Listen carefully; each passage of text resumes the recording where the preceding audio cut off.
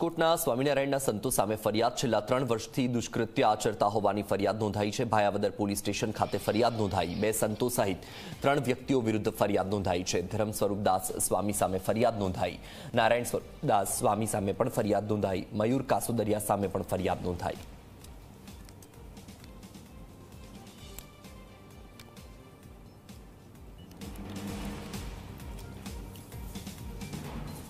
તો આપણી સાથે જ્યોતિર્નાથ મહારાજ લાઈવ જોડાયા છે. જ્યોતિર્નાથજી, સ્વાગત છે આપનું ઝી ચોવીસ કલાકમાં. જે રીતે હવે આ વીડિયો સામે આવી રહ્યા છે બધા સ્વામિનારાયણના સંતોના, હવે આવા લોકોને સંતો તો નહીં કહેવાય, લંપટો જ કહેવા પડે, કારણ કે જે રીતે વીડિયો સામે આવી રહ્યા છે તેમની લંપટ લીલા જે સામે આવી રહી છે. રાજકોટમાં પણ ફરિયાદ નોંધાઈ છે. સૌથી પહેલાં તો આપની પ્રતિક્રિયા.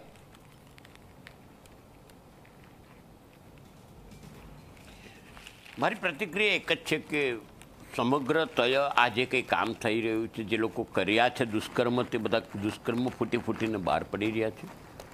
પહેલાં તો ફરિયાદ નોંધાવનાર જે હિંમત કરીને બહાર આવ્યા છે, તેમને હું બિરદાવું છું. હજુ તો કેટલાય બહાર આવશે, કારણ કે હવે હરિભક્તો જાગ્યા છે. ફિઝિકલી ભગવો લજાવતી આ ક્રિયાઓ, કે ભગવાનના ભેખના અંડરમાં આવા દુષ્કર્મો ક્યાંય સાખી લેવાની જરૂર નથી.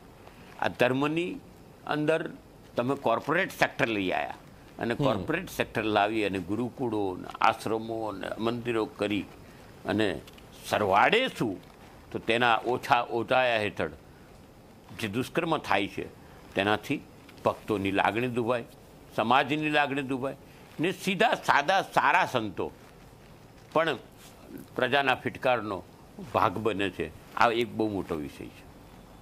બિલકુલથી પ્રશ્ન એ જ થઈ રહ્યો છે, કારણ કે જે રીતે આવા લંપટોના જે આવા વીડિયો સામે આવી રહ્યા છે, આવી લંપટ લીલાઓ સામે આવી રહી છે, તમે સંત બન્યા છો, તમે ભગવો ધારણ કર્યો છે અને તમારામાં એટલી જ હવસ ભરેલી છે, એટલી જ વાસના છે, તો શા માટે તમે ભગવો ધારણ કર્યો? કોઈએ તમને ફરજિયાત, ફરજ તો નથી પાડી કે ભાઈ તમે સંત બની જાઓ. હવે વાત એ છે કે રાજકોટમાં ફરિયાદ નોંધાઈ છે, બોટાદમાંથી પણ આવા દ્રશ્યો સામે આવ્યા છે.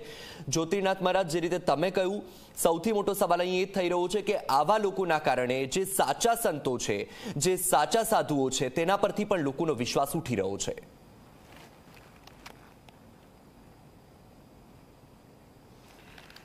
હા, વત્સલ, સાચી વાત તો એ જ છે કે સમાજની અંદર આવા લોકોના લીધે સાચા સંતો જે બીજા ભેગધારીઓ છે તેને પ્રજાને ખબર નથી કે એની વચ્ચે ભેદ છે.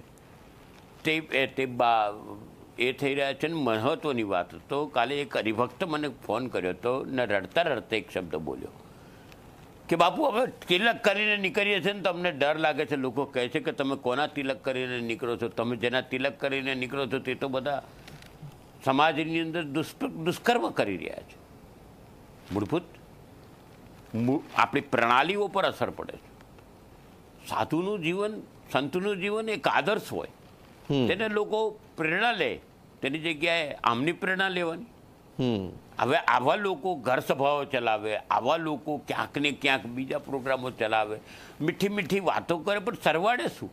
હમ. સરવાળે જુઓ તો તમે ક્યાંક ને ક્યાંક સમાજને આ લોકો હાનિ પહોંચાડી રહ્યા છે. સંતત્વને હાનિ પહોંચાડી રહ્યા છે. ધાર્મિકતાને હાનિ પહોંચાડી રહ્યા છે. લોકોની ધર્મ સાથે ખેલવાડ કરી રહ્યા છે. લોકોની આસ્થા સાથે ખેલવાડ કરી રહ્યા છે. આને પણ કડક હાથે સરકારે કાર્યવાહી કરવી જોઈએ અને હરિભક્તોએ પણ કાર્યવાહી કરવી જોઈએ એવી મારી માંગ છે.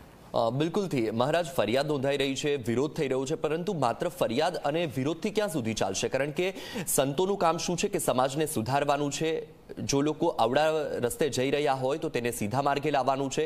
પરંતુ અહીં તો ખુદ જે લોકો સાધુનો વેશ ધારણ કરીને નીકળ્યા છે અને એ લોકો જ લોકોને આવડા માર્ગે દોરી રહ્યા છે. પોતે જ લંપટ લીલામાંથી બહાર નથી આવી રહ્યા. તો તેમની સામે કાર્યવાહી શું? એવી કાર્યવાહી ક્યારે થશે? કારણ કે અગાઉ પણ એવા અનેક કિસ્સાઓ સામે આવી ચૂક્યા છે.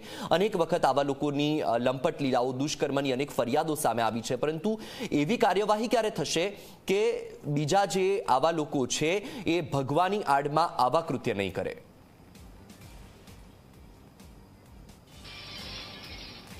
આમાં શું છે કે મૂળભૂત આચાર્ય પરંપરા છે આચાર્ય ગાદીથી આ બધું નિર્ણયો લેવાતા હોય પણ રાકેશ પ્રસાદ બેસી ગયા છે ત્યારથી આ વધી ગયું છે. કારણ કે ત્યારથી આ પ્રક્રિયાઓ વધી છે અને તેમના ચેરમેનો અને બધા જે બની બેઠા છે ભક્તોના ચેરમેનને આ મંદિરના ચેરમેનને તે લોકોએ જે ખરેખર કામ કરવું જોઈએ તે કરતા નથી. કારણ કે બધા ખરડાયેલા છે. પોતે જ ખરડાયેલા હોય તો કોની પર કામ કરે?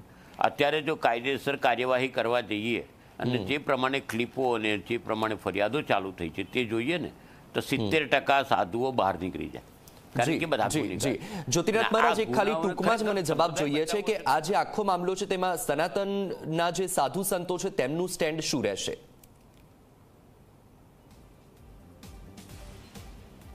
અમે વિરોધમાં છે અને અમે એ જ માગીએ છીએ કે અમે તો બહિષ્કાર કરેલો છે. અને આ બહિષ્કારને ચુસ્તપણે સનાતન સંત સમિતિ વર્ગી રહી છે. ક્યાંય પણ સના સ્વામિનારાયણને બોલાવવાના નહીં સ્વામિનારાયણના સંતોની સાથે વ્યવહાર નહીં કરવાનો.